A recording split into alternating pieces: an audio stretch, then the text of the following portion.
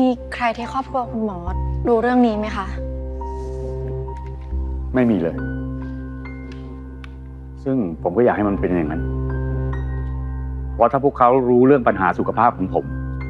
พวกเขาก็จะไม่ให้ผมทำงาน ทั้งงานบริหาร ทั้งงานรักษาคนไข้ ผมยังไม่อยากเป็นคนแก่ที่ไร้ประโยชน์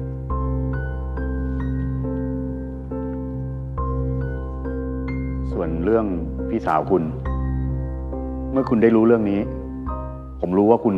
ต้องรู้สึกไม่ดีแน่ๆ เพราะคุณก็รู้ว่าผมมีครอบครัวแล้ว แต่มันมีความจริงบางอย่างที่คุณต้องรู้